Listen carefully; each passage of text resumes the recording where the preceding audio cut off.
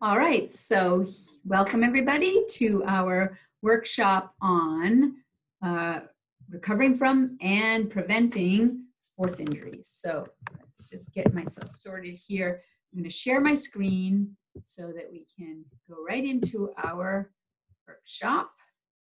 And you can get some great visuals here so that you can really learn uh, exactly what we want to cover today. Whoops, let me go back there. All right, let's just bring this down here. There we go. So how to prevent and recover from common sports injuries. This is uh, one of our body signals workshops, and we do these every single month with a different topic.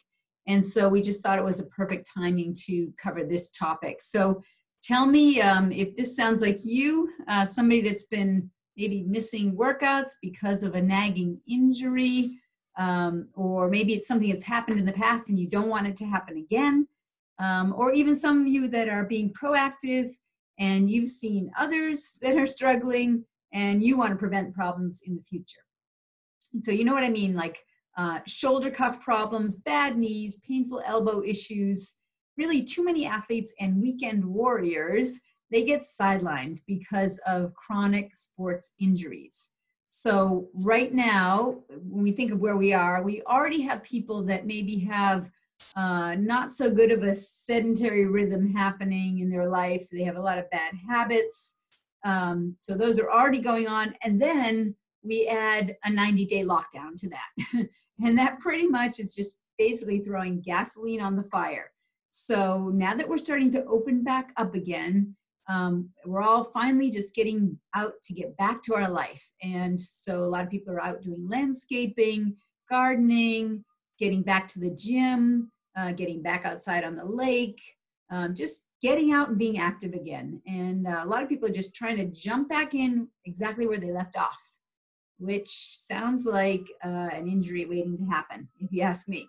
So we call this um, adult onset FAS FAS meaning falling apart syndrome, right? So either old injuries that are a problem or injuries that are resurfacing that are a problem.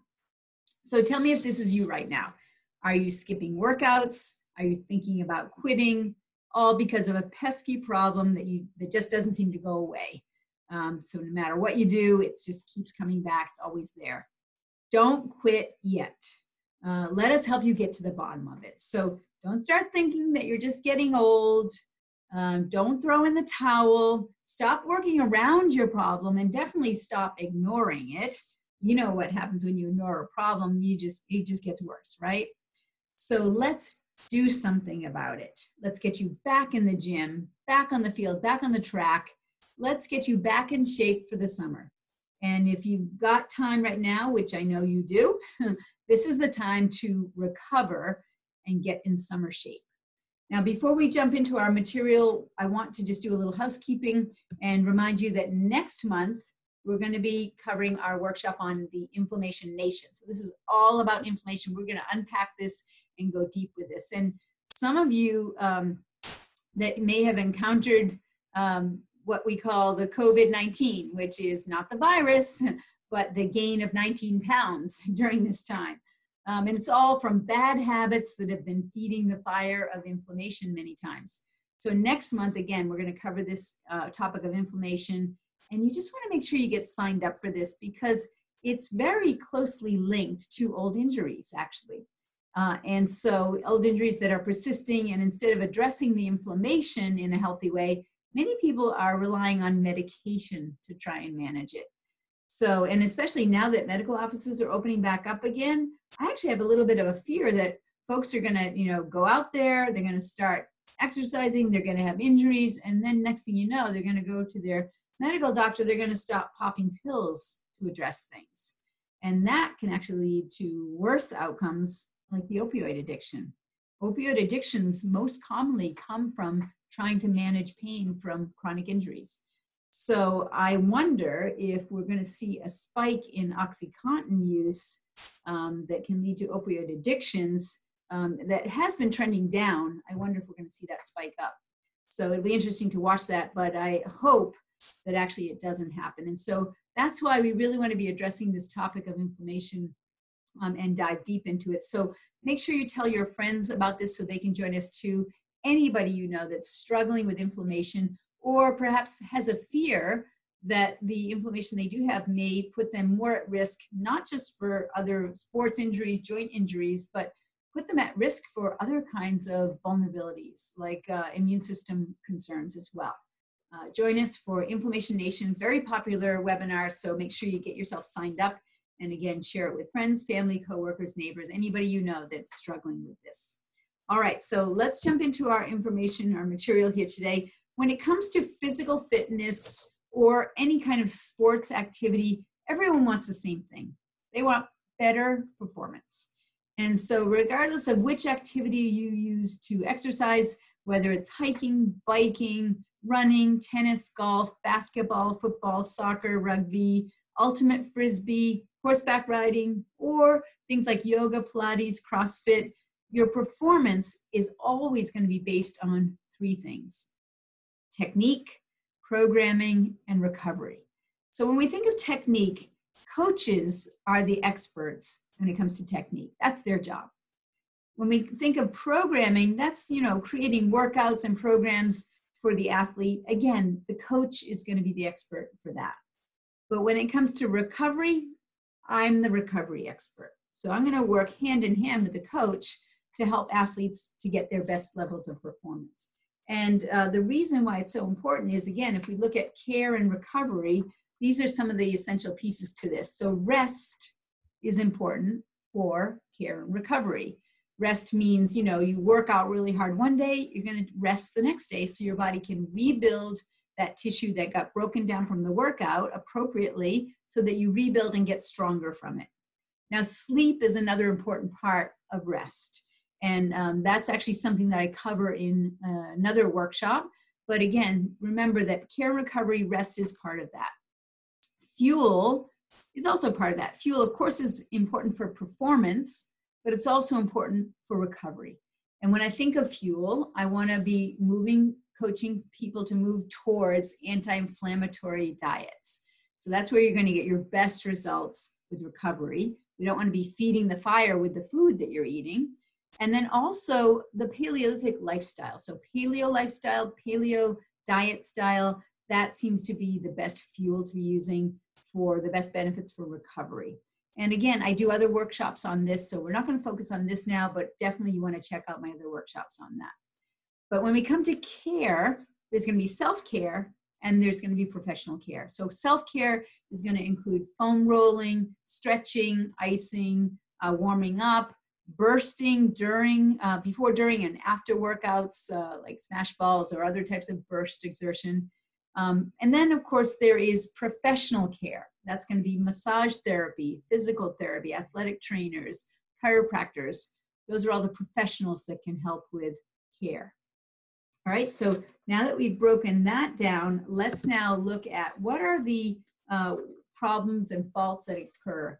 Um, either they're actual injuries, uh, either an acute or a chronic injury, or something that isn't an injury, but it still is creating a movement fault. Uh, and so that can affect your technique, which then can lead to an injury or could at least be impacting your performance.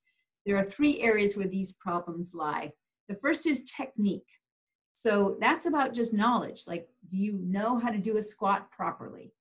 So your coach is going to cue you on that. So your coach could tell you, okay, make sure you're gripping the floor with your feet, that you are uh, pushing your feet apart, like you're tearing a newspaper apart. So that's an example of technique. So you want to have good technique. Otherwise, you have poor technique, you're setting yourself up for an injury. So the coach is going to be all about the proper knowledge for that technique.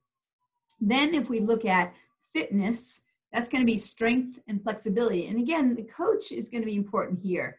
Um, you may know how to do things, but you may not have the actual strength to do that technique properly, or the flexibility, or the balance. And so the coach can help you here as well.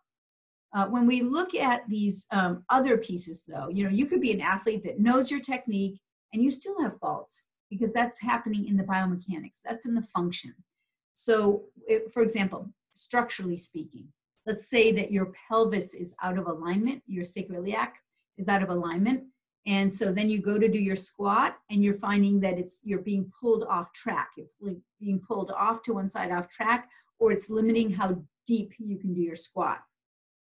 So the coach could yell at you all day long about the technique. You could foam roll the hell out of it, but it's a structural fault that's the problem. Or it may be a neurological fault. And so the problem is just going to persist. The neurological aspect, if that's not addressed, again, what's going to happen is you're going to start training around it, and that's going to lead to poorer performance, increased risk for either acute injuries or breaking down over time to either chronic degeneration or both of these things happening. Uh, so chiropractic care is the solution for both of these things. And so that's what I'm an expert in is in the movement patterns. And this is what then leads to better training, better performance, and better outcomes. All right, so if we're talking about these things, let's go right into how do we assess them.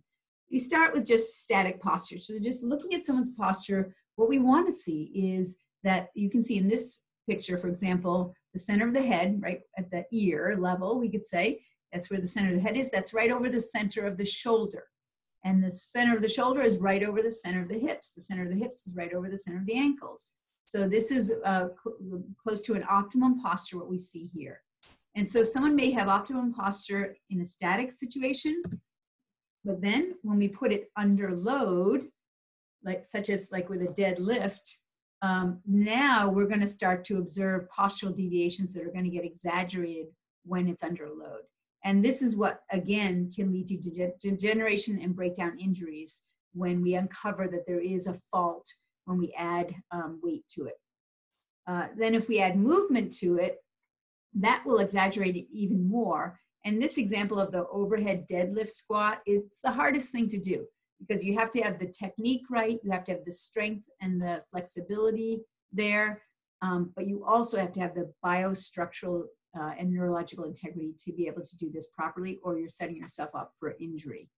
Um, and so when athletes come to get assessed by me, uh, we can just do an analysis, but uh, you know, postural analysis and so on. But oftentimes they may provide me with um, still images of them do, performing their sport or a video of their technique and their and their movements. Uh, some athletes are using the Hudl app, for example, to monitor what's happening in their performance.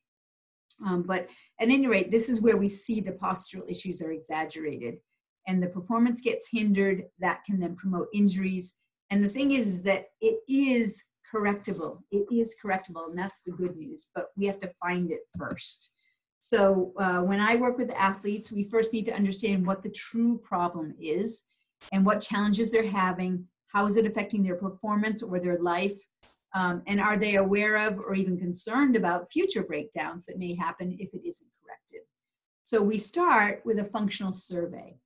And that survey then helps us to uncover where we're starting from. And then from there, we do a functional assessment so we can really understand what's going on and what is it going to take to correct the faults. Um, working with a coach for technique and fitness and addressing the biomechanics with my care. So that's how a lot of athletes like to work.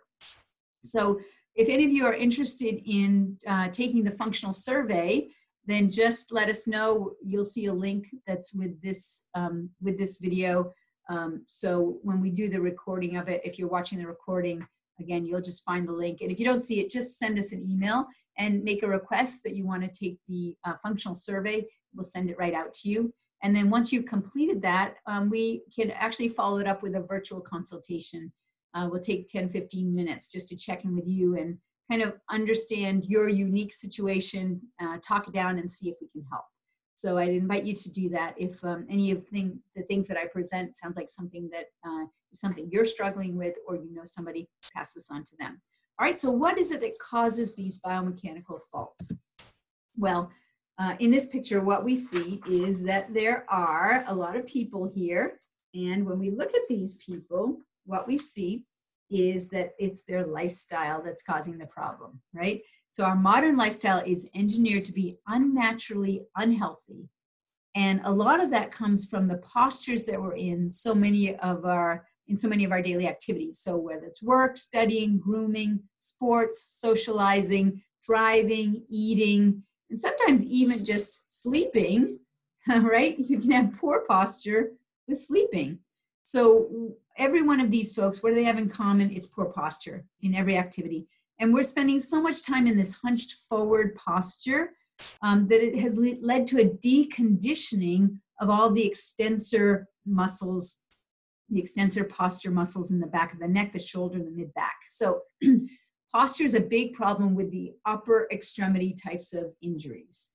Uh, and so uh, if the upper extremity is, is primarily a muscular joint and those muscles become weakened, what do you think is going to happen to the joint? Going to break down over time. So improper posture is one of the causes. Another factor that is often overlooked is this, and it's something that we call subluxation. So many people are not familiar with what a subluxation is. So from traumas or jarring of the spine coupled with bad habits, uh, joints can misalign and that causes soft tissue damage. When that soft tissue is damaged, that creates nerve irritation and that can then maybe even cause the disc to swell up. The nerves then tell the body to strap down that joint because the body is going to need to stabilize that joint because as the joint moves, it's going to irritate the nerve more. And so the body's going to want to try and stop irritating the disc and the nerves. So it'll tighten up the muscles, even spasm them to protect the nerves. When that happens, we lose something called imbibition. So, imbibition is the way that we get nutrients in and toxins out of the joint because the disc has a poor blood supply. And so, instead, movement is what pumps the fluids in and out of the disc, um, just like a sponge. And so, the disc, it's not just like a hockey puck, it's actually a very complex organ. Uh, and it acts as a spacer so the nerves can get out and carry the messages back and forth between the brain and the body. So when the disc over time starts to degenerate because it has toxins accumulating and it's not getting nutrients in, that's called degenerative arthritis. And it's called also normal aging. Even though it's not normal aging, it's common, but it's not normal. And it's not from just pure aging, it's from having subluxations over time that are not corrected. So long-term subluxations lead to subluxation degeneration. Um, I don't have time to address every upper, upper extremity concern, but I'm going to address the big ones that I tend to see. So if we understand uh, first that if we look at the anatomy, the upper extremity is what is known as an open kinetic chain. And it means that what you're gaining in mobility and movement, ranges of motion in that joint, you're going to lose in stability and protection. And so you're actually more susceptible to injury in the shoulder, the elbow, and the wrist because it is an open kinetic chain. Um, so it's non-weight bearing, which means that unless you're doing handstands, it's going to remain as an open kinetic chain. In the upper extremity, if we look at uh, just a quick review of the anatomy, um, we see that um, the shoulder includes the AC joint, which is the front where the clavicle, the collarbone, connects with with the um, acromial process, which acromion process, which is the scapula coming up from the back. The sternoclavicular joint is the joint where the collarbone meets with the sternum. The scapula sits on the back. That's that chicken wing in the back that's kind of floating around with all the soft tissues around it. Uh, and then we have the glenohumeral joint where, where the arm bone comes up into the shoulder joint. The deltoids are the power muscle that moves the shoulder around when you need strength and power. And then you have the rotator cuff, which is the holding joint. And it's kind of like an eagle claw that comes around the ball of the, of the humerus. And the, the purpose of the rotator cuff is for stability and fine motor movement. So that includes the supraspinatus, the infraspinatus, the teres minor, the subscapularis, all for internal and external rotation. And um, it's usually here where shoulder pain comes from. So something happens where the joint, where it gets sloppy and loose, and then that leads to um, injuries. Of course, below that we have the elbow, the wrist, and the hand, all part of the upper extremity. Now, it is interesting that the root cause of many upper extremity issues is actually the subluxation in the neck. So tech neck is, uh, you know, we talk about a pandemic happening right now. Tech neck is a pandemic that's happening right now. And it's really hitting the, our young, the younger generation. I'm seeing it in younger and younger ages. And the next generation is really in trouble because of this. If they don't pay attention to good spinal hygiene, it is going to be a plague for them as they go on and age. So that's a problem that I take very seriously. I want to educate as many people as I can on proper spinal hygiene because it's one of the key issues that then leads to upper extremity injuries and um, chronic injuries not healing up. And again, it's I'm seeing it. I'm seeing upper extremity injuries in younger and younger individuals, and I think one of the reasons it's related to the, the neck. So upper extremity issues usually start in the neck, and um, again, if we look at oftentimes when there is an upper extremity issue, people will also complain of neck issues and symptoms like neck pain and stiffness, muscle spasms, loss of range of motion. Sometimes they will hear joints popping and snapping, even have arthritic changes. Um, but far more commonly, there's actually no outward symptoms in the neck. And so it's just like dental issues. You know, these problems can begin asymptomatically. By the time you feel a cavity, you're in trouble, right? So these things can go undetected and they can get worse, and that can go on for years if they're not caught. So we actually really, it's really important that we get to the root of the problem for the upper extremity, and oftentimes it's in the neck. And once we get there, then the real healing can happen.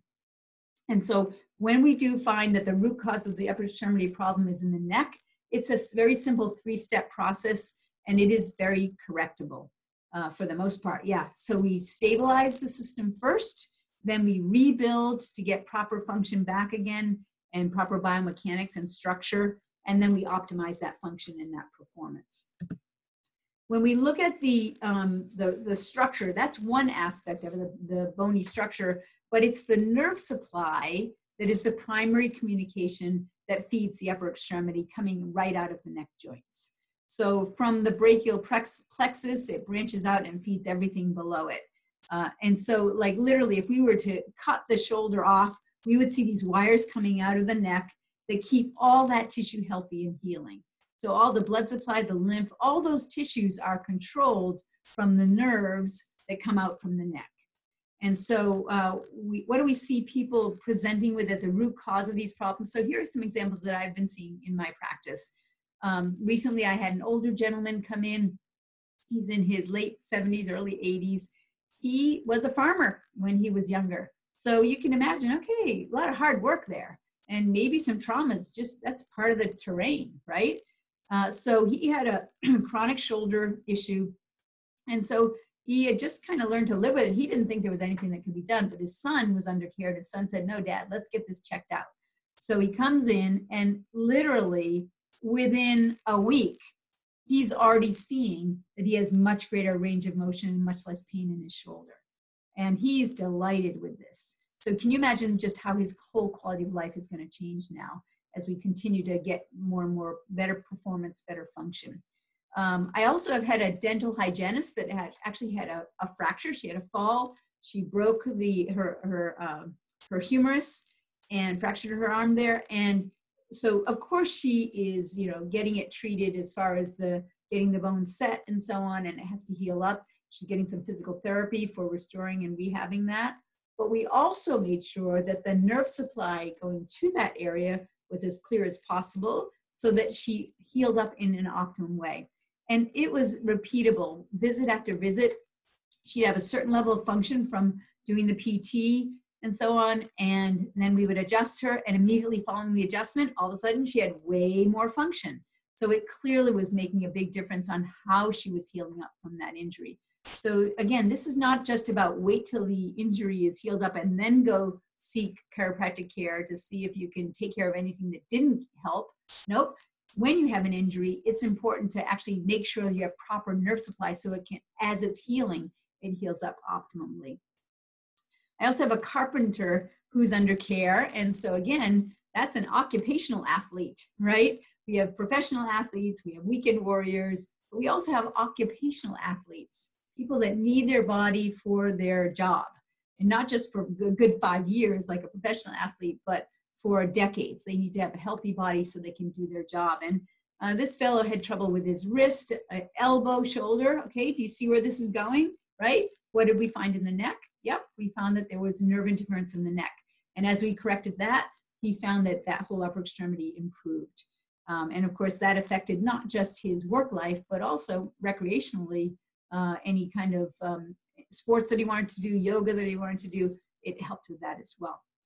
So if any of this sounds like you, then again, if you want to unpack this further, just message me, send us a message, send us an email, a text, and uh, we'll set up a conversation and we can talk it down. And again, we can just schedule a virtual consultation and see how we can help you there. All right, so I thought this was an interesting study to share with you. So when we talk about the upper extremity, grip strength is one of those pieces that helps us to monitor function there. And so this was very interesting that this study found that there was an association of loss of grip strength with poor health outcomes like cardiovascular disease, respiratory disease, cancer outcomes, all causes of mortality. And this was in the, um, the, the BMJ, British Medical Journal. They looked at a cohort study of 500,000 people, and they found that there was a very strong correlation, clear evidence that lower grip strength is associated with a whole range of poor health outcomes. So if you're not like the go-to person for the jars anymore, that may be an indicator that there may be some other health issues that are going on, right? So that's, I thought that was fascinating when I saw that. And so since then, for most people, I'm going to test that grip strength when I'm doing the exam because it tells me so much about actually their nervous system. What is it that controls grip strength? It's the nervous system. Now, there's another study that actually followed people that were under chiropractic care at measured grip strength. What they found is following chiropractic adjustments, when we reduced the vertebral subluxation, it actually improved grip strength. So if it's improving grip strength, what else might be it be improving? It might be an indicator that all causes of mortality is going to go down, that it's going to provide greater cardiovascular health, respiratory health, you know, decreased risk of cancer, right? So I don't have a study that shows that correlation, but I certainly do show these two studies together. So there's some biological possibility here that if we correct the subluxations, improve the nerve supply, we see better grip strength. Those same nerves that control the grip strength are coming out of that area and they're in charge of running organ function as well. All right, so okay, let's face it, growing old is not for sissies. and so, but, but listen, don't let them tell you that there's nothing that you can do about it, right? Let's take action here. Remember, success is reserved for the action takers. So who, who here is an action taker? I know all of you are because you're watching this webinar, right? So if you're watching the webinar, it's because you're ready to take action to do something that's going to either address that chronic injury or address an acute injury or try to prevent those from happening. So bravo for you for being an action taker. So what kind of actions do you need to take? Here we go. So this is your homework right here. Pay attention. How do you bulletproof your shoulder? These are some exercises that you can be doing yourself that are going to really help. And so a lot, everybody knows what a push-up is. That's where you're bending your elbows as you're going up and down, right? And so that's going to help triceps, biceps, and so on. But a push-up plus is different. And so you can see in the picture here, the elbows are actually straight. And can you see how actually what's happening is we're gonna have a straight elbow and we're gonna sink down and let the shoulder joint go back. And then we're gonna push the shoulder joint forward. So we're going back and forth, but we're keeping the elbows straight, keeping the arms straight. So uh, you can start by just doing that in the air with your shoulders. Then you can actually lean against a wall and sink into it and back. Then you can go against a desk. So as you go down at an angle, you're going to be increasing the load. And then finally, you can be right down on the floor as if you're doing a push up. And instead of bending the elbows, you're only going to be sinking down and lifting up. So that's a great exercise for the shoulder. It actually helps the whole serratus anterior. You know, boxers that have that area really well developed. This is one of the ways to develop that. The wall angel is where you're going to be standing against a wall and then you're just going to be having your hands and your arms against the wall and then you're just going to track up keeping the, the arms and the elbows back and that again is going to provide a good stretch and an opening through the chest again stretching and opening this because so often we're in this posture where we're leaning forward the reach roll and lift is uh, first you get into child pose and so you're you're bent over your your arms are actually right on the floor you slide that arm forward, turn it over, palm up, and then you're just going to lift the arm up. Now, when you're hunched over, like I have a lot of motion here because I'm upright, but when you're hunched over, it's only going to be a little bit of movement, uh, but that's fantastic for these lower, lower trapezius area. You want to do about eight reps of each one of these exercises. Now, this one is all about bulletproofing the arm and the hand. So we do actually get quite a lot of function of the wrist flex, flexors just in our daily life, but if you want to add more strength there, you just take a tennis ball and squeeze it, and that will uh, strengthen the wrist flexors. For the wrist extensors, the best one for this is to actually get a rubber band, put it around the fingers, and just spread open the fingers. Open, open, open, open. And uh, again, don't do too much of a strong rubber band. Start with a very lightweight one. Do that first and just work up to something that has a little bit more tension to it. Again, eight reps is enough for, for these to just keep yourself going. All right, and then this one I like, it's um, called the Life Extension Exercises. And the acronym is You Will Love This, YWLT. So um, this one, if you do this regularly, it literally can add years to your life because it's fantastic for the whole upper body. You start with the Y shape, hands up in a Y shape. Make sure that the plane of where your shoulder is, that your arm is not forward, that it's right in line with where your head is, right? So Y, and you're just gonna reach up and stretch towards the universe with your fingers. You're gonna take a few breaths in and out. You're gonna hold that for about 20 seconds. W is sticking your elbows into your back pocket. So driving them right down and back. Scapula are gonna be pinched together as you do that. 20 seconds, couple breaths in and out. L is where you're gonna be having your elbow out to the side in an L shape on either side. You wanna do it so that as you're looking forward, uh, you're, you're gazing at the horizon and in your peripheral vision, you can't see your fingers moving. So your arms are spread wide apart. And finally, the T is the arms stretched out, pointing out as far as you can with the fingers stretched. And again, you're going to be doing it so that you can't see your fingers wiggling with your peripheral vision as you gaze straight ahead. You want to do this about 20 seconds in each position. And again, just one round for every two hours that you're sitting. That's going to reconcile that uh, sitting, uh, you know, gazing at the monitor, sniffing the monitor, that kind of thing. Um, and so, and if you're not at uh, sitting for two hours in a day, just doing these a couple times a day, you know, how often do you brush your teeth so that your teeth will last you your whole life? A couple times a day. Great to do this exercise a couple times a day. All right, so now we're going to get into the lower extremity. And um, again, just reviewing the anatomy, this is a closed kinetic chain as opposed to the upper extremities, the open kinetic chain. In a closed kinetic chain, it means that we're going to have more um, stability. So uh, the, the open socket in the upper is going to have more mobility, less stability. Closed is going to have an enclosed socket, so there's more stability, less mobility. And then from there, it goes down to the knee, the foot, and the ankle. Uh, and then, uh, so then again, starting with the foot and working our way up, if the foot has any biomechanical faults, that can then affect the ankles, the knees, and the spine, the pelvis and the spine. So biomechanics is going to work in both directions here. Uh, the lumbars, uh, if we look at just the lumbar spine, which if you see my pointer right here, lumbar spine here is where the nerves come out to control the whole lower extremity. So the function of the lumbar spine, the low back, is actually very important for the lower extremity. The function of the sacroiliac joints as well are very important for the gait. And so if any of these are locked up, it's going to alter the gait, which is going to create more wear and tear on the knees, the feet, and the ankles. So it goes in both directions. Um, but just if you look at the entire weight of the upper body is resting right on the sacroiliac joints right here on the sacrum and L5. And so that's a very important area that actually the most common areas that can affect the lower extremity is this L5 sacrum sacroiliac area in this closed kinetic chain for the lower extremity below it. So um, if you're struggling, if you or someone you love is struggling with symptoms of lower extremity, you might notice that you have trouble with the hip, the knees, the ankles, or a foot problem.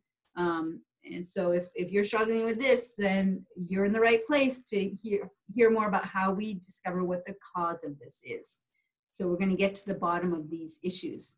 And really, it's so important that you understand what the real cause of these problems are because so often uh, people have done all kinds of things if they have a knee problem of treating the knee when actually it may be the foot that needs more support or it may be the pelvis or the spine that needs correction.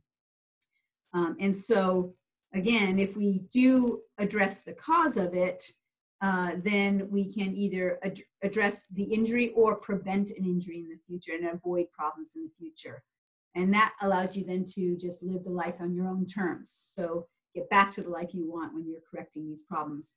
Um, as with the upper extremity, let's focus on some of the most common lower extremity issues. Um, and again, we lovingly refer, refer to these uh, low back pain, hip pain, knee problems, leg pain, ankle issues, foot problems as adult onset FAS, falling apart syndrome of the lower extremity.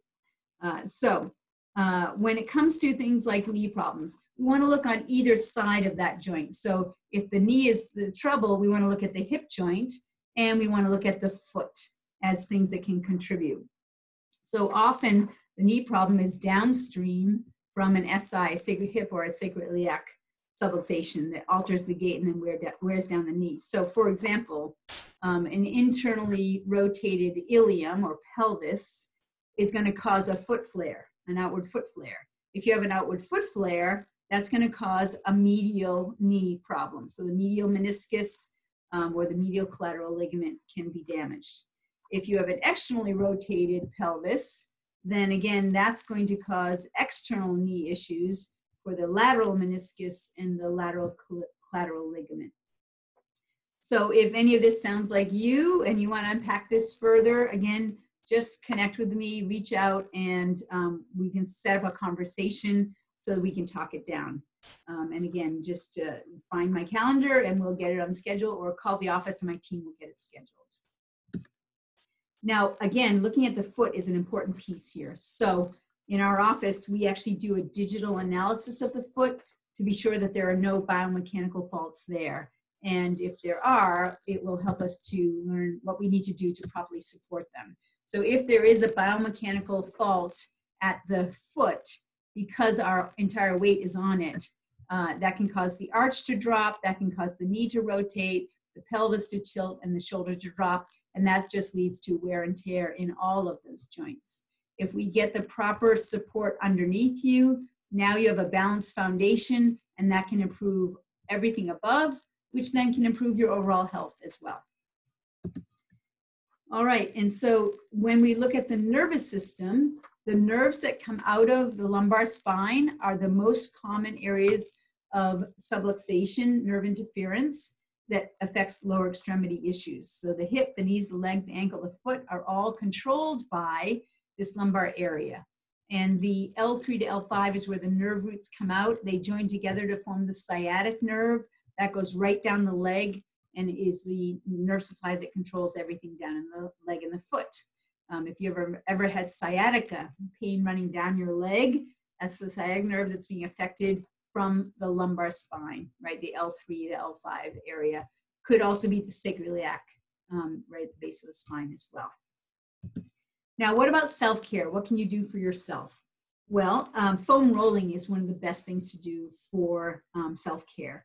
And so you can literally just um, rest your body weight on the foam roller and then just take five breaths in and out right there. So you just go to the place where it's kind of uncomfortable, it's a little tender in that spot, and that helps you to work with the fascia, any adhesions, and uh, anything that builds up there. I like this brand, the Proper Roller, because I like the shape of it. It's a bit more stable than just one that's a, a tubular shape.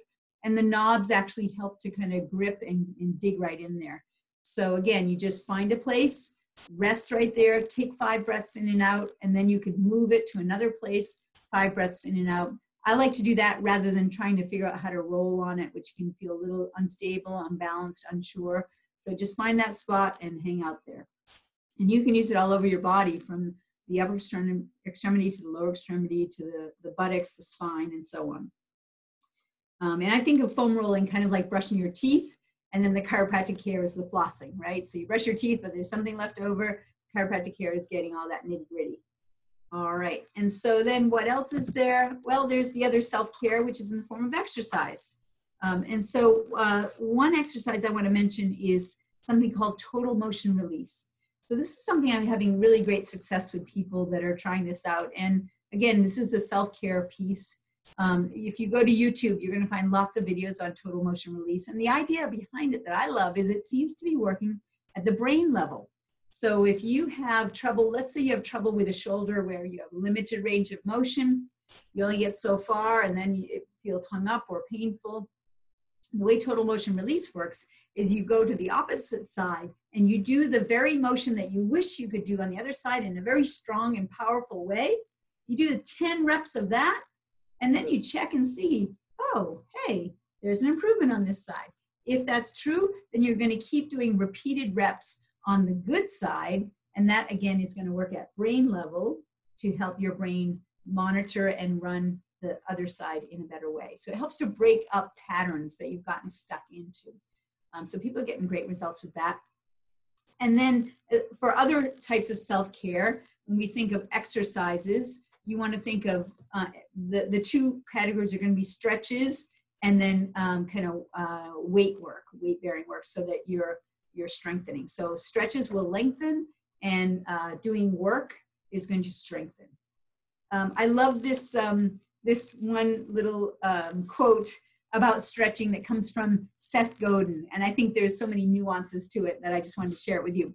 He says there are two polar opposites: staying still and breaking. Right. So don't do anything or do too much and break. And he said it's easy to visualize each end of the axis, whatever the activity. In between is stretching. Stretching is growth extending our reach, becoming more resilient, limber, and powerful. Stretching hurts a bit and maybe leaves us just a little bit sore. But then tomorrow we can stretch further and then and further and further than we could yesterday because stretching compounds. When you're doing it regularly, you're going to get that compounded benefit. If you're afraid of breaking, the answer isn't to stay still. No. If you're afraid of breaking, the answer is to dedicate yourself to stretching. So uh, I like that idea for the physical, but I like it also for your life. Uh, so self-care, again, the best stretch, the best stretch that I find for the lower extremity um, is to do this um, piece where you're gonna, you're gonna have a, a chair next to you and you're gonna kind of be stepping forward and you're gonna put your knee and your foot on the back of the chair. And then you're going to just let your hips slide forward, lean forward. And that's going to create a nice stretch in the front of the, the quadriceps, the, the front of the thigh. So that's a really nice stretch, especially if you're not, um, if you've got some injuries and you're not feeling so steady. The best stretch is to go all the way and grab the back of the foot and bring it right up to the buttocks as a really nice stretch for the lower extremity. Um, but if you're not sure about that, then you can just rest your knee on a chair and then just lean forward a bit and that can get that stretch started. Uh, when we look at um, other types of stretches, again, for the hip joint itself, I like to do a round the clock lunge. So that means that you're going to take a step forward and remember that when you do a lunge, the proper way to do it is your knee is never going to go past your toes and you want to make sure that your knee tracks right in the center, that it doesn't swerve off to the, the inside or outside. You want to just make sure that it is tracking right in the center and not straying. And then you're going to lunge forward and then you're going to lunge back. And then you can switch. And then you can lunge out to the side so that you're going to you lean out to the side and then come back to the center and then lean out to the other side. So that's called the round the clock lunging. And you do that a few times a day. It's great for the acetabular joint, which is your actual hip joint where the femur comes right into your hip, but it's also good for the sacroiliac as well. And uh, if you're feeling like you're just too sore to do something like that, just uh, standing like on, the, on a step with your foot hanging off the edge of the step and just moving your hip in like a figure eight movement can be good just to loosen things up as well. Uh, and then if you're feeling uh, like you want something more advanced, you can actually do a lunge on a wobble board. So you're going to put that wobble board on the ground, you're going to step on it, and then you're going to do your lunge forward. And because of the uh, imbalance underneath, you have to work harder, and that's going to develop more proprioceptive input to the brain, and it's going to actually do a lot more strengthening at the same time. So uh, that's again for more advanced lunge. All right, so what about a squat? Love squats. Squats are awesome for the entire lower extremity. And if you want to know how to do a proper squat, you just have to look at a toddler because they always do it perfectly. They haven't developed any bad habits yet. And the reason is because if they their head is so big that if they don't do the squat properly, they're going to fall over either forward or back. So they have to keep that head right up over their center of gravity. So if you look at some of the features of the, the proper squat, it's going to include this idea of the toes being in line with the nose, so going straight forward. Uh, also, you want to have your toes lift up because that's going to create it so that you have more weight on your heels. And that's the safer and healthier way to do the squat. Your knees are going to track right over the toes, never in front of the toes, however. Just over the toes, but not out in front of them. You're going to use your glutes uh, when you're lifting yourself back up. And that is the biggest muscle in the body. And what do we do? We just sit on it all day, right? But it's the power muscle. And so, um, again, doing your squats slowly can be a way to really maximize the value of a squat. You can use a door frame to practice to start out with just for stability. Um, and what you're going to find that is if you haven't been doing it right, and you do just 10 of these in a row, you are going to feel it the next day, next few days. Like you're going to be using the handicap rails when you go to the bathroom, right? That's how you know you've done it, right? So uh, doing squats is awesome. Just start out with one really slow squat and you'll get so much value from it. When I say that really slow squat, you, if you haven't tried this out, you're going to be amazed at how much value a slow squat is. Some people think, oh, I'm just going to do a bunch of rapid fire squats, as many as I can, but actually just doing one slow squat or a couple of them, you're going to work really hard. And if you're not feeling confident or you feel like you don't have the flexibility to go into a deep squat, you can actually just squat right into a chair. So you, you start with your squat and you just go down slowly, slowly, slowly, slowly. Now you're really working. And then you come in just as you barely touch the chair, you don't sit and rest, you come right back up and your glutes are going to be working so hard, especially in the beginning. And so you're going to be working, working, working, just very slowly doing your squat. And that is how you get a really good workout. In fact, just doing a couple of slow squats, it can get you panting and sweating. Uh, so I love squats as uh, really healthy for whole lower extremity and the spine itself. Now, what is it that people do to address injuries most commonly? Uh, the allopathic options look something like this. When we look at um, heat, for example, I just want to go through each one of these. And, you know, sometimes I have people come in and they say, Doc, should I take this drug? And I say, I don't know, because what do you want for your outcome? That's the important question. What is your objective of taking that um, particular drug? Is it just to have symptom relief? If that's all you care about, then maybe the drug is a good option. But if your goal is actually uh, to have a successful outcome, if then there's more important questions that you want to be asking. So better questions are going to lead you to better answers. So maybe a better question to ask is, what is the cause of my problem? Can it be corrected? And how can I correct it? So um, with all the different options that are out there, you do need to know what about the safety and the efficacy of each of these options. Uh, what about the short-term and long-term results? And so let's just unpack each one of these, look a little bit more closely, and just understand what is the premise behind them. So heat, you know, might bring some relief, but heat, remember, um, can also drive inflammation. So anytime that you have tissue damage, you're going to have some inflammation as part of that problem. And so, yes, heat can relax the muscle, but it's also a vasodilator. So that can actually drive and increase chronic inflammation. Bed rest. Okay, in the first 48 hours of an injury, rest is important. So you're just letting that tissue rest so it can heal.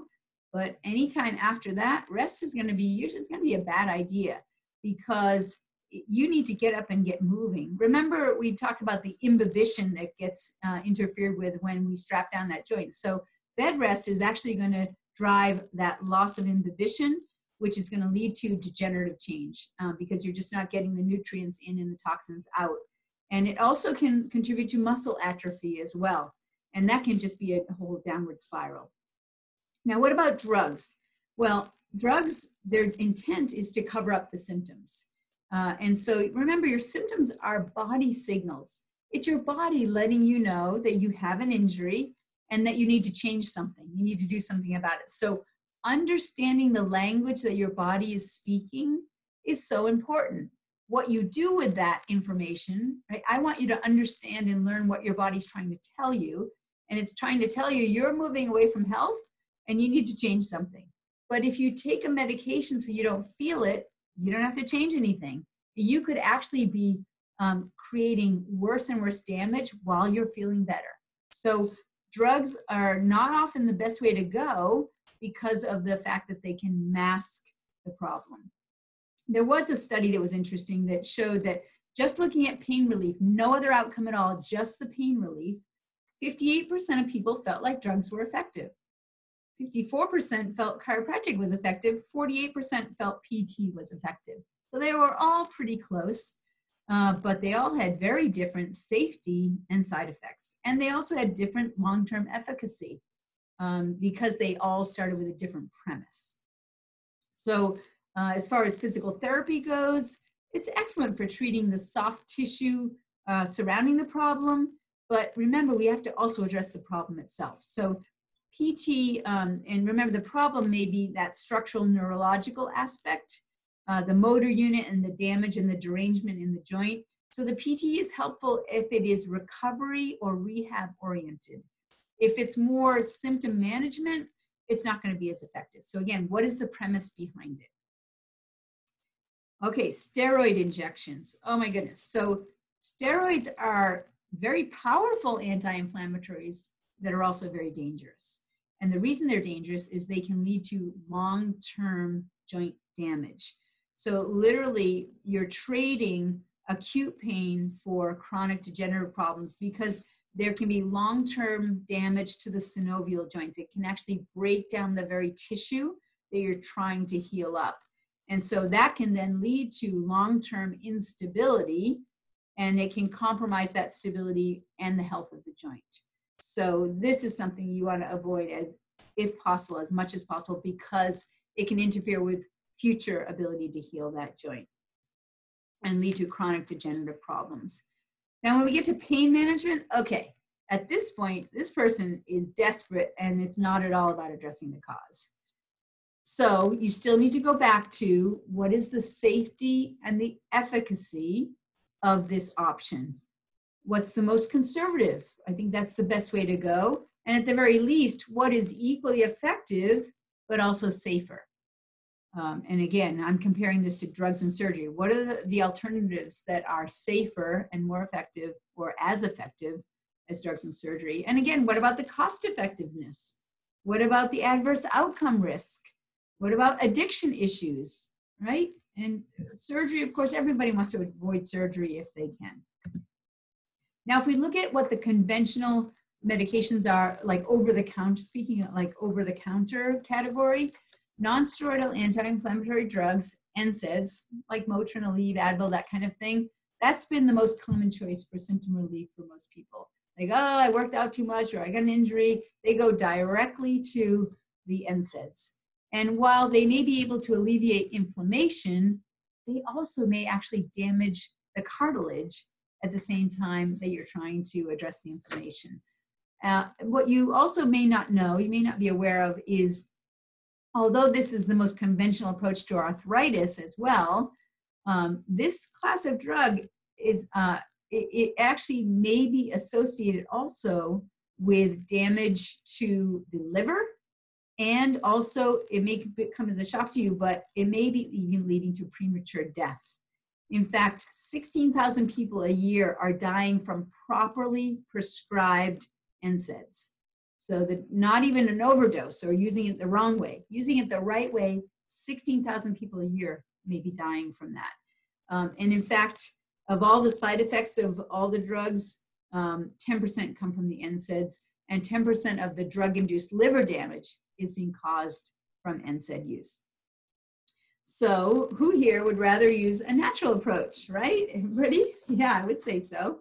And so, let's look at the natural alternatives here.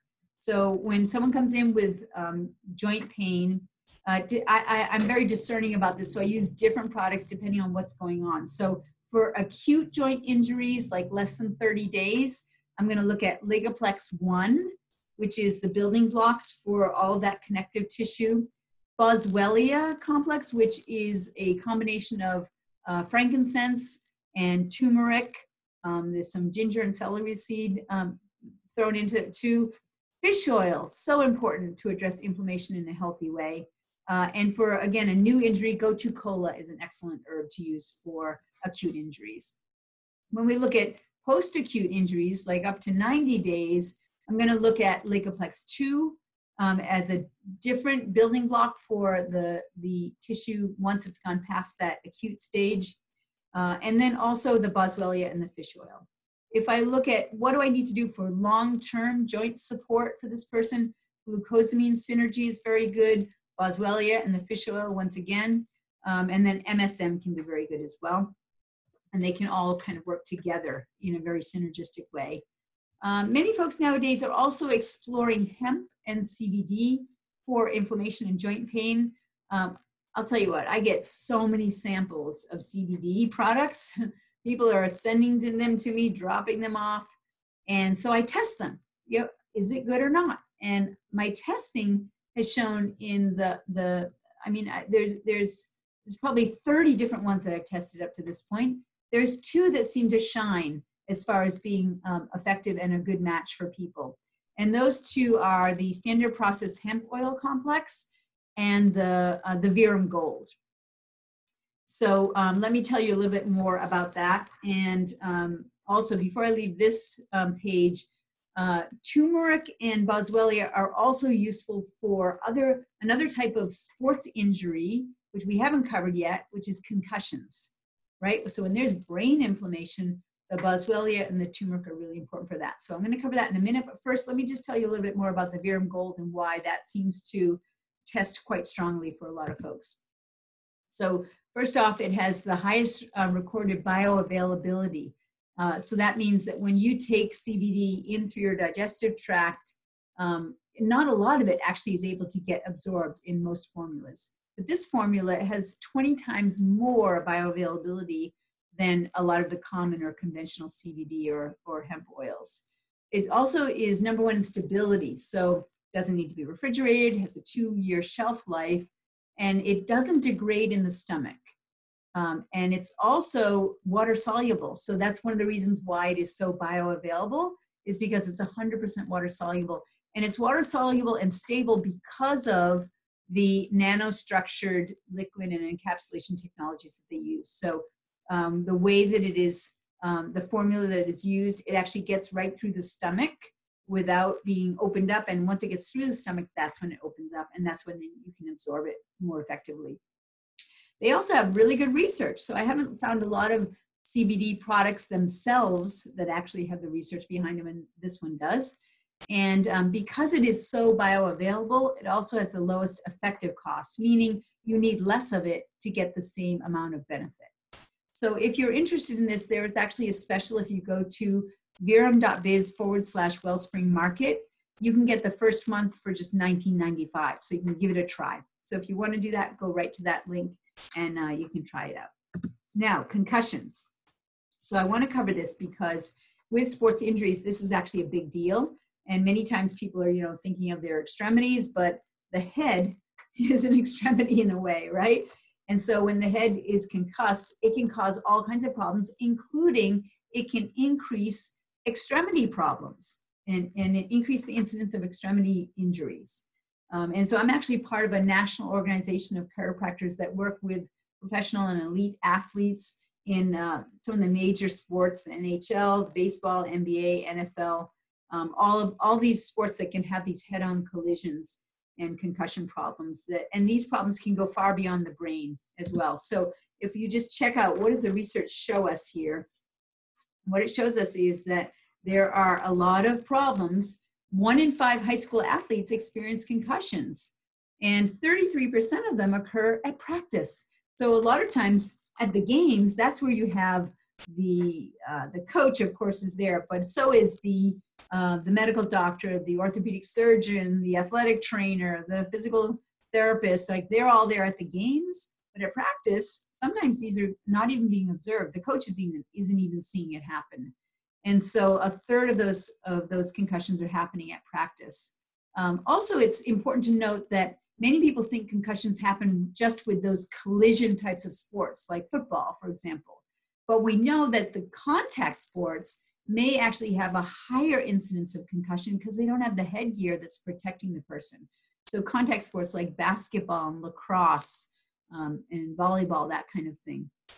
So, and the women's sports, I think it's, let's see, it's uh, six out of the top 10 sports are actually women's sports that can have head injuries.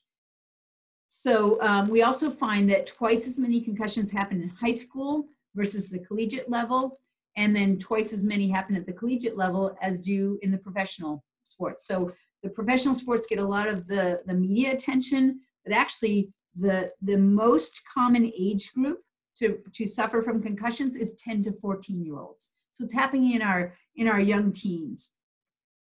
We see that 5 million annual concussions are happening in the US, and the highest growth rate again is in the 10 to 14 age range. 70% of high school athletes played despite symptoms of a concussion, right? So there's a lot of ambiguity that's happening around concussions. So we have athletes that are playing even though they have a concussion and they're at risk for what's known as second concussion syndrome, where they didn't quite heal up, their brain was still inflamed and injured. They went back into the game, got a second hit, and their athletes, eight, actually 18 athletes a year, are dying from second concussion syndrome. So it's a it's terrible, it's horrible, it's a serious thing.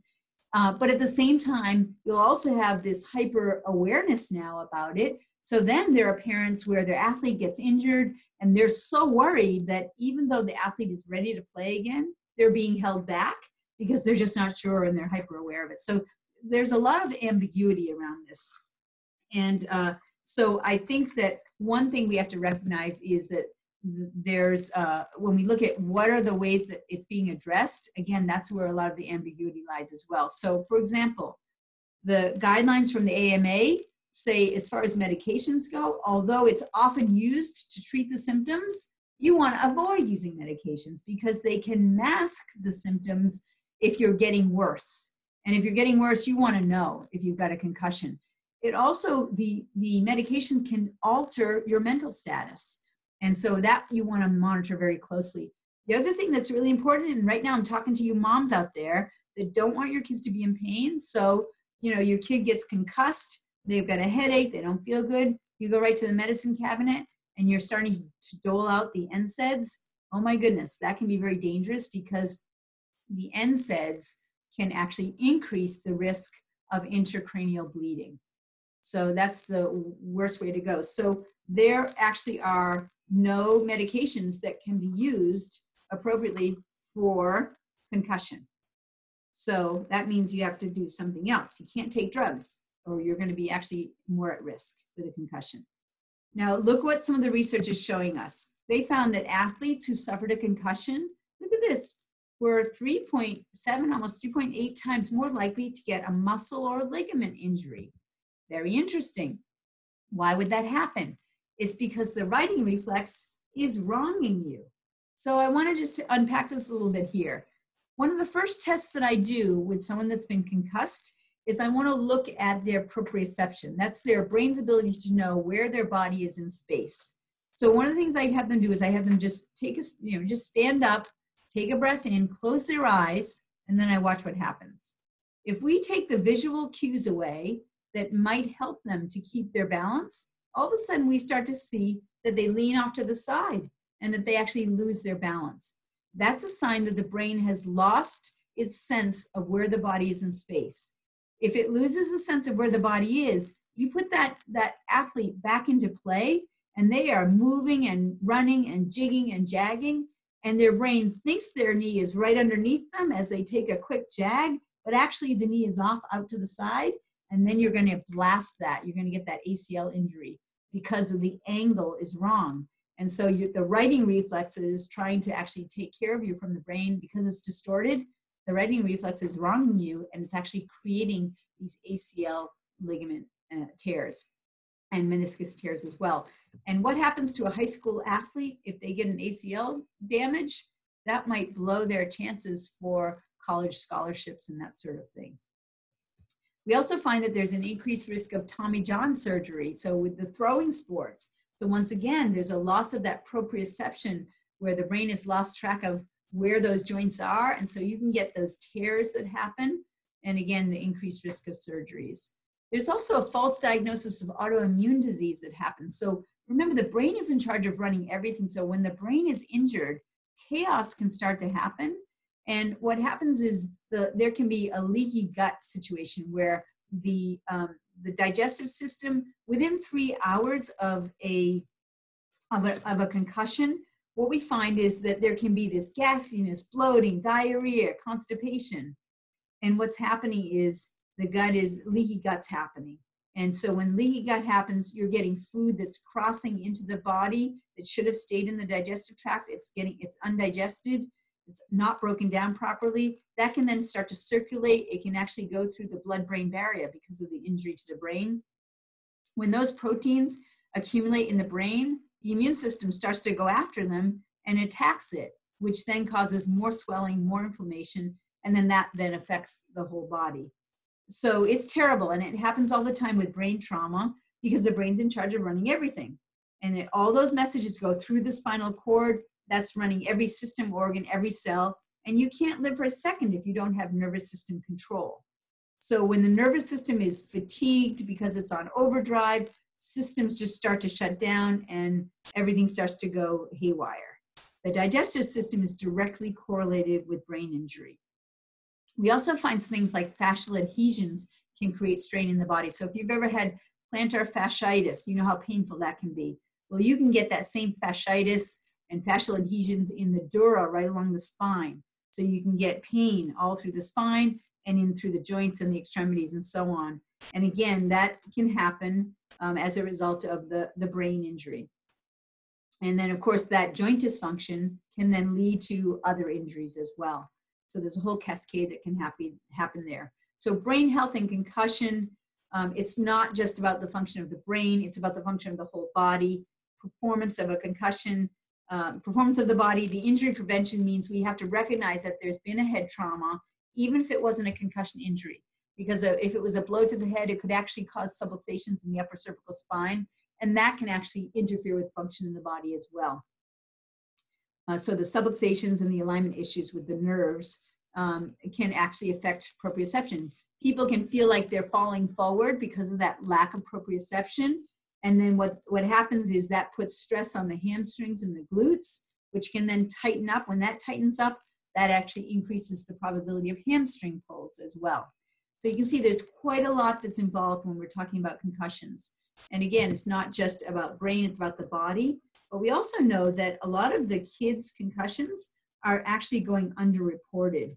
And we have these studies from the AMA that show that after one head trauma, we can actually see a decrease in grades. Um, and, and again, with, with them being underreported, that means that they could be a single concussion. And if it's not tracked, it could lead to a second concussion syndrome, which, as we saw, can lead to lasting damage in the brain.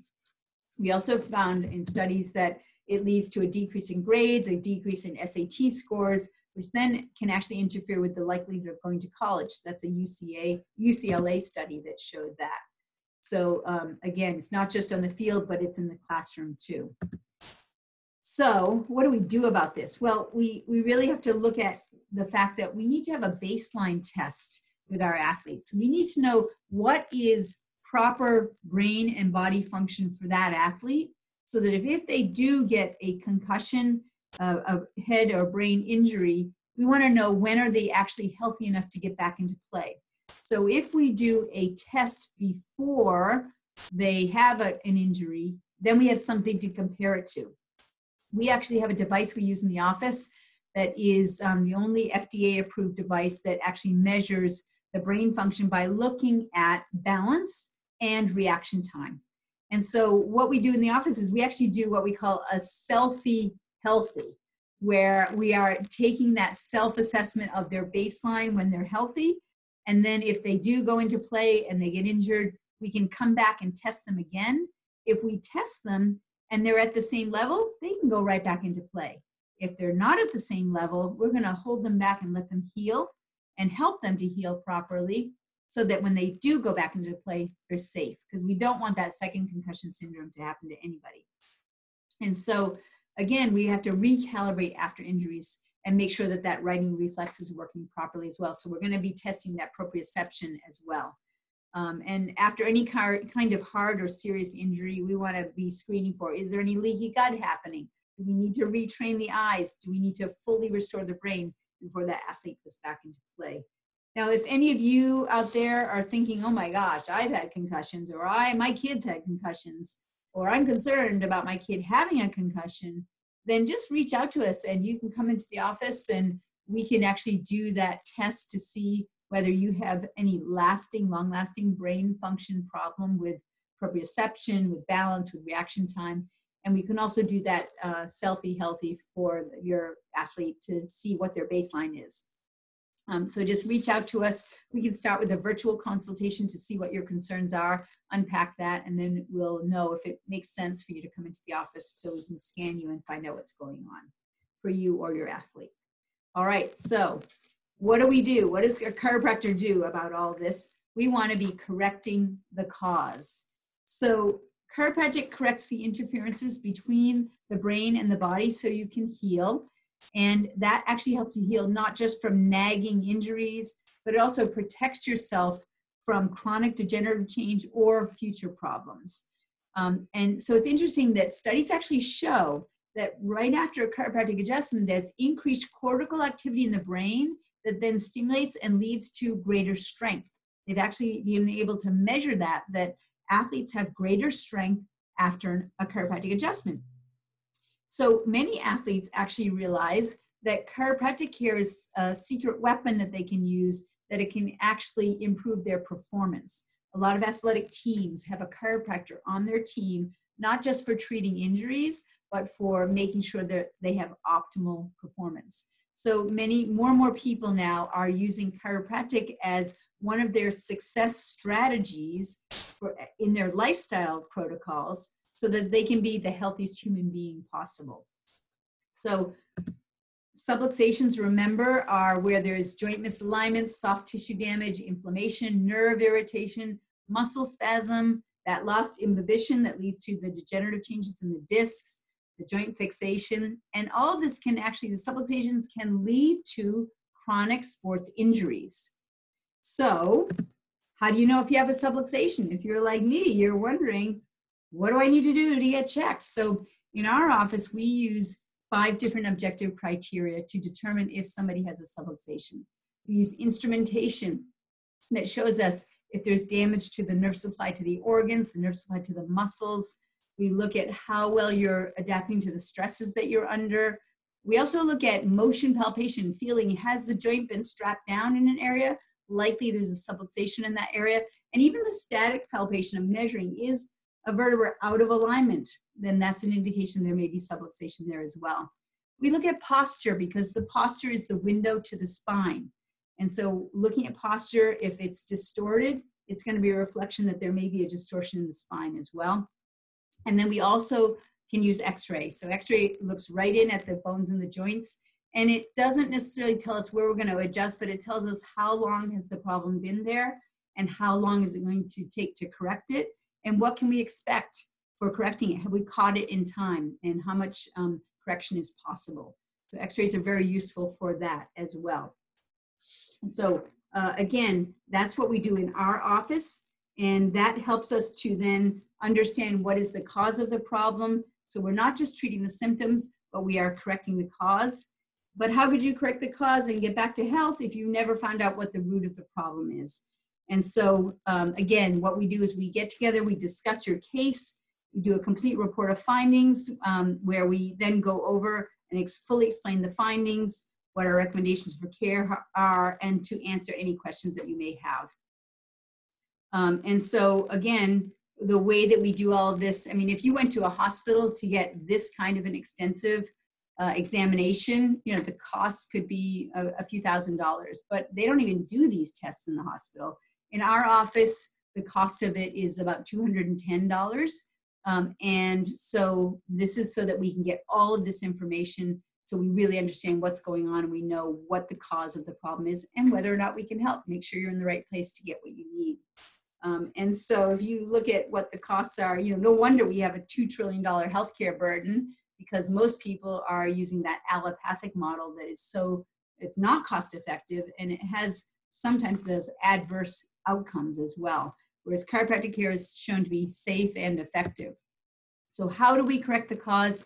It's again, a three-step process. We need to make sure that we are breaking the bad habits. So if you're subluxated, the only way to correct it is with specific chiropractic adjustments. Um, so breaking the bad habits is one leg of the stool. Uh, again, looking at working with your trainer if you have any bad habits with your technique and so on, breaking those bad habits with posture um, and with how you're exercising. And then adding the specific exercises in so that you can get your whole spine stronger, get the extremities strengthened and lengthened, and that protects you from future injuries as well. Uh, but if you have subluxations, chiropractic adjustments are the only things that are going to address that. And only chiropractors are trained to find and correct subluxations. Uh, there's a whole art and science behind it. And it is very highly specific. It's also, in our office, we use very gentle techniques. We just use light touch techniques that help the brain to then correct the alignment of the vertebrae so that you then optimize that nerve supply, which optimizes function. So we're realigning, returning to normal motion, returning to normal function in the spine. That reduces stress and interference in the nervous system. And then that normalizes the nervous system's input and communication. So the brain is getting accurate information of where the body is in space. It's safe, it's effective. It's actually the largest drug free healing approach in the world. And millions of people get adjusted and have been doing so for over 100 years. Um, and so if you think of many people are thinking, oh, I just need to do the exercises, I just need to break the bad habits. So, you know, those are two important things to be doing, but you have to correct the subluxations as well. And the sweet spot is when you're doing all three. That's where, where you're going to get your best results. So um, if you're only doing some of that, then you're going to be underperforming. Um, and so we really want you to make sure that you're doing the work so that you your work is going to be at the highest level of performance. So remember, um, living around the problems, stopping living your life to the full extent that you want to be, popping pills, ending up, you know, addicted to OxyContin, that is not the way to go. And so doing the right thing can actually give your body the best chance of healing up those old chronic injuries, addressing those acute injuries in the best way possible so they heal up fast and don't turn into chronic injuries, as well as just preventing future injuries by having optimum function in the body. Um, so here's a, an example of somebody in my office, uh, Frank, who came in and um, he was wanting to solve his issues and avoid medications.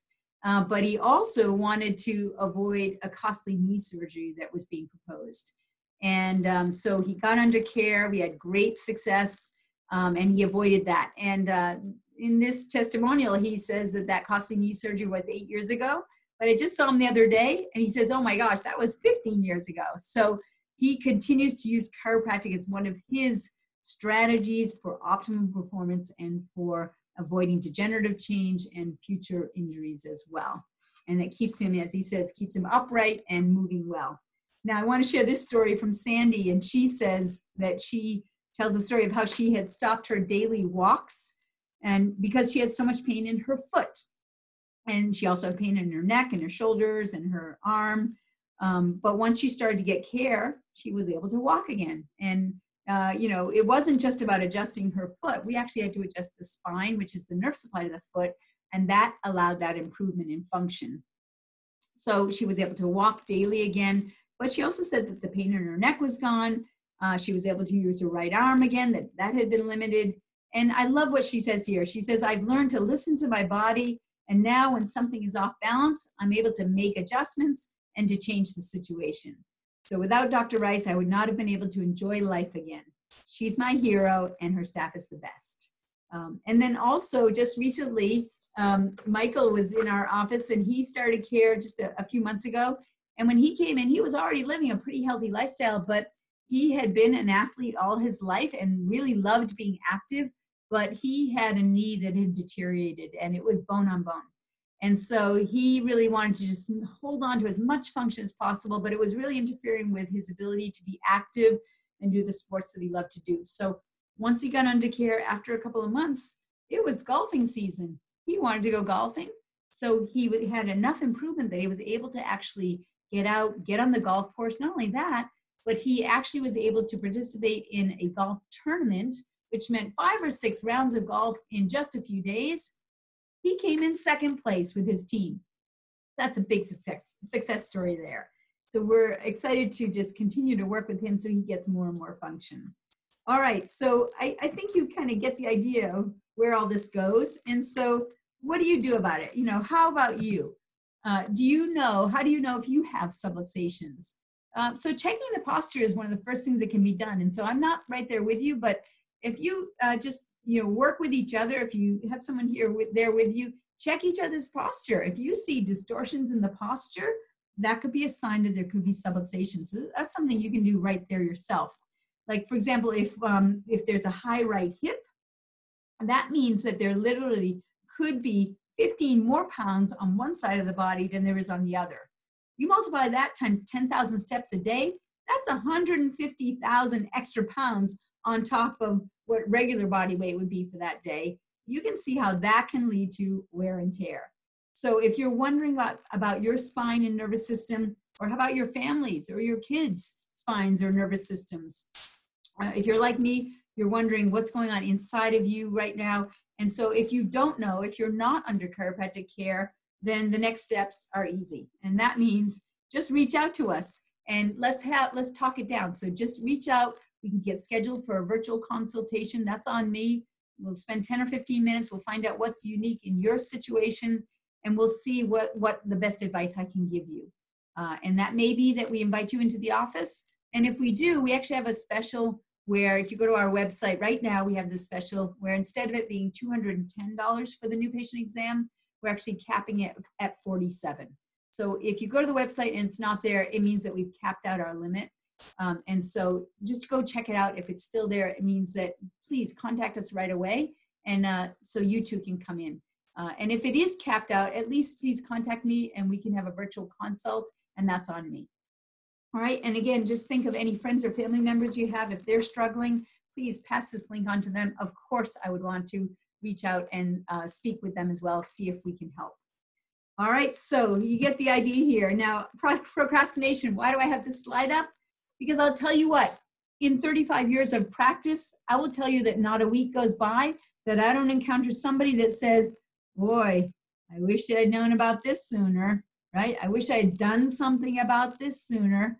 And uh, all of you that have old injuries, you know exactly what I'm talking about. You're thinking the same thing. I wish I had taken care of this sooner. So it's because of this that we're on a mission. We are on a mission to check as many people as we can so we can get them the help that they need sooner rather than waiting until it's too late. But we need your help to help as many people as we can. So um, if you have a loved one, a family member, a friend, a neighbor, a coworker who's struggling, and maybe it's you that's struggling, let us see how we can help.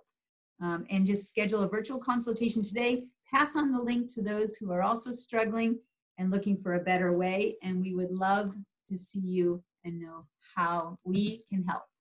Schedule a consultation today to see how we can help. I loved spending this time with you please get on our workshop next month, which is all about inflammation and uh, spread the word because lots of people struggle with that too. Thanks so much. We'll talk again soon.